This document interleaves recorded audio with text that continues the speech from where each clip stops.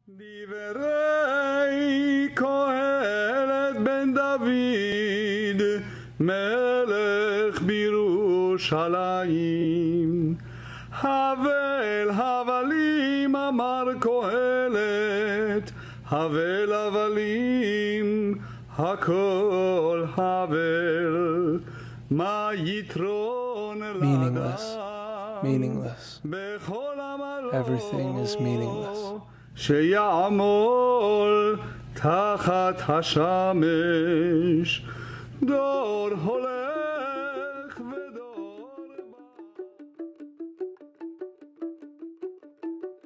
Most scientists estimate that the universe is 13.77 billion years old, and that the Earth is 4.54 billion years old, while human beings have only been on Earth for less than 200,000 years. Put those numbers in perspective, if you stretched out your arms and your entire wingspan was representative of Earth's geological history, and then you took a nail file and took just a little bit of the edge off of your fingernail, you would have just wiped out all human history.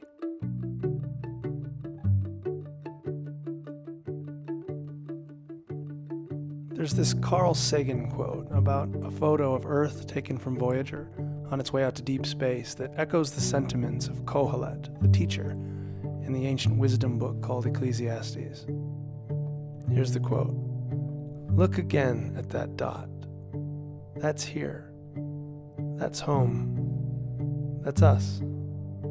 On it, everyone you love, everyone you know, everyone you've ever heard of, every human being who ever was lived out their lives.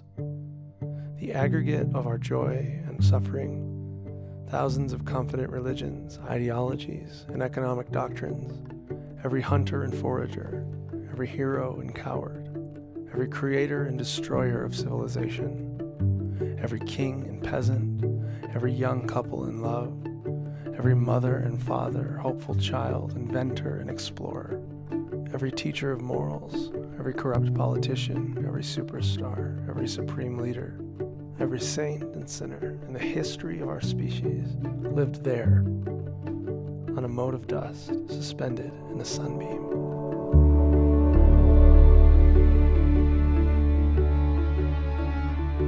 So here we are on this pale blue dot, tiny specks of dust coming into existence for a moment, hurling through space and time, only to flicker back out after a few moments.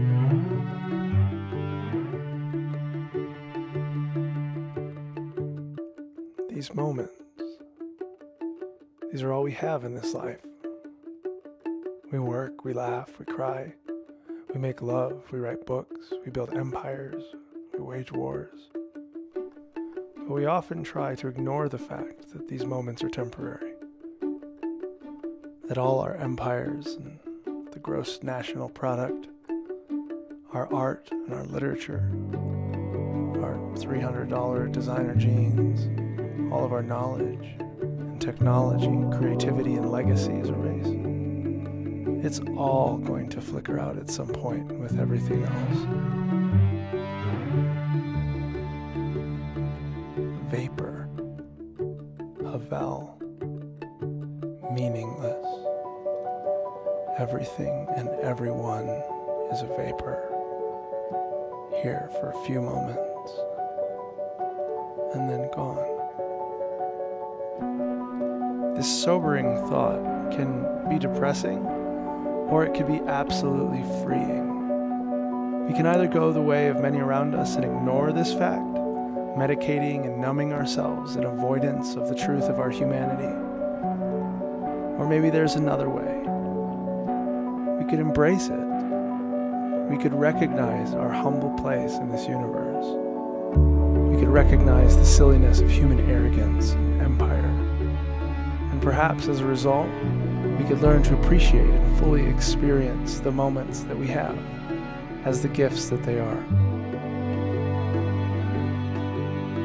Think about when you were young. Do you remember getting worried and stressed about things, things that seemed so important at the time? Now, how do you feel about those things? The issues that felt like life and death, like how the kids didn't give you a fair turn on the playground that day. How do you feel about that now? Do you laugh about it? Does it seem silly? So, what are you worried about today? Do you really think it is any less silly than what you were worried about as a child? Your job? Vapor. Your apartment? Vapor. Your school loans? Vapor. Everything and everyone you love and worry about? It's all vapor.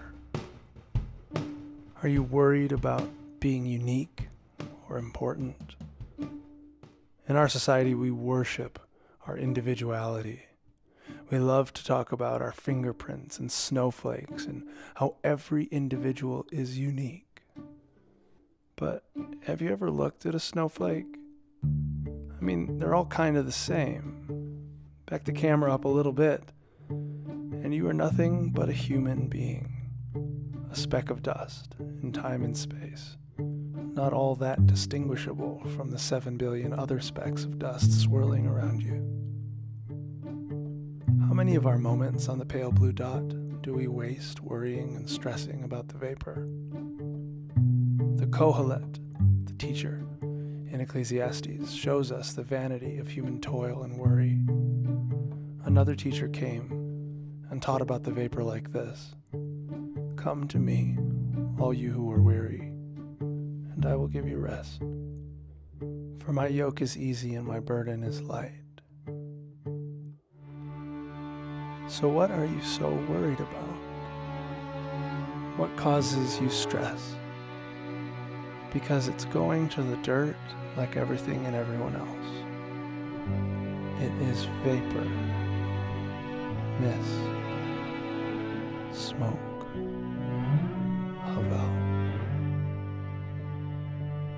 This doesn't have to be depressing. In fact, it might even be liberating. Finitude, after all, is actually what makes life sweet. Christmas time can be such a wonderful and magical time of year because it only happens once a year, not in spite of it. Parents treasure their moments with their young children at home precisely because they know those moments won't last forever, not in spite of that truth.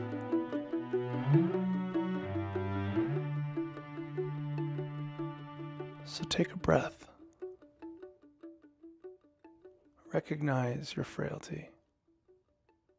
Recognize that the things that feel so weighty and worrisome in the back of your mind right now are nothing but vapor. Feel your breath. Recognize your lungs keeping you alive without your ability to make them work or not. Your heart is beating. Your cells are working together to keep you alive. And it's all magical and mysterious and beautiful. Life on planet Earth is a gift. And you only get it for as long as you get it. And then the match gets blown out. So set your hearts not on things of earth, not on the vapor but let go. Fully open your heart to both the gift and the giver, the mystery, the beauty, that in which we live and move and have our being, that which we call God, the oneness who holds the vapor together, who somehow brings meaning into the meaning.